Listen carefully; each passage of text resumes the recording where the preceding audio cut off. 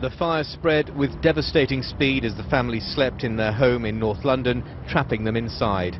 Firefighters forced their way in, but were unable to save the 41-year-old mother and five children, girls aged 14, 13 and 9, and two boys aged 5 and 2. Only the eldest daughter, aged 16, and her father escaped the inferno. Both are in hospital suffering from burns.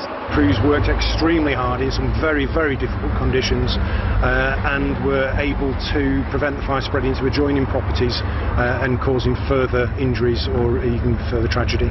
Some of the 13-year-old victims' school friends say they're in shock.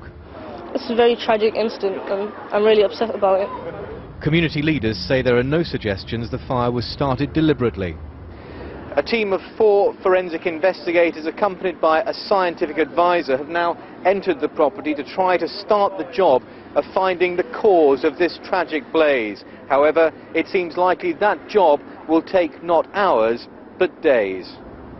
So far, the victims have not been named officially. It's understood they're originally from Palestine. And although the cause isn't yet known, it's not, at this stage, believed to be suspicious.